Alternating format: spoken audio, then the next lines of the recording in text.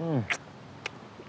Oh, I'm just sucking on this lemon here to get some vitamin C and goodness into the system. When we were growing up in Birmingham, we were big on lemons, mainly because it was the only fruit we could get our hands on.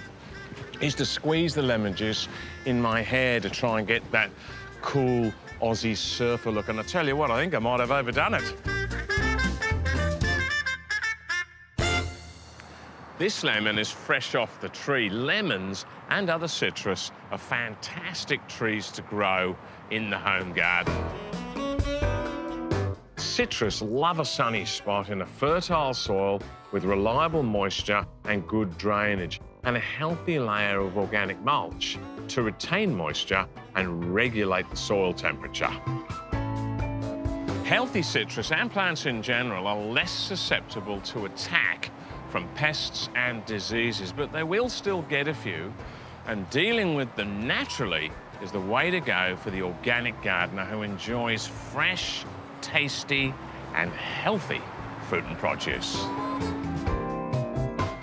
The two beautiful ingredients contained in Nature's Way spray here are canola oil, which smothers pests like aphids, scale, and mealybug, and deters citrus leaf miner moths from laying eggs on the leaves. It'll also give those nasty bronze orange bugs a kick up the backside. They don't like getting covered in oil.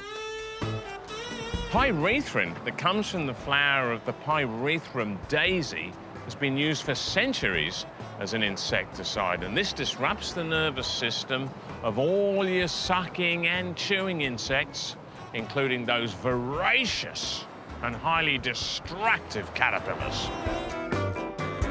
This is a contact spray, so make sure you spray generously all parts of the leaves, including the underside where some pests hide out.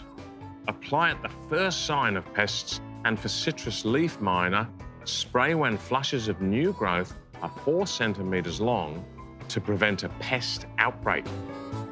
There are two spraying settings on the nozzle, the finer mist spray and the jet.